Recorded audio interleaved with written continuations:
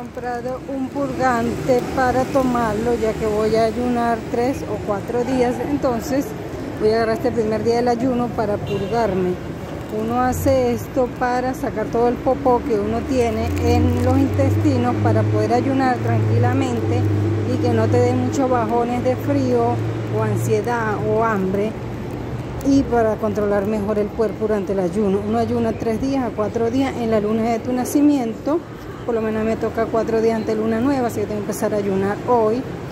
9 eh, de octubre del año 2023, lunes, martes, miércoles jueves voy a ayunar. Y esto es lo que uno hace, desparasitarse para poder cumplir con esos días de ayuno. Y esto me lo voy a tomar hoy. Entonces no es bueno tener el popó en los intestinos mientras uno está ayunando, tiene que sacárselo. Son ayunos de no comer durante tres días, solo tomar aguas agua de coco, suero marino, agua de mar, aceite de oliva y eso es lo que se toma. Y agua, por supuesto.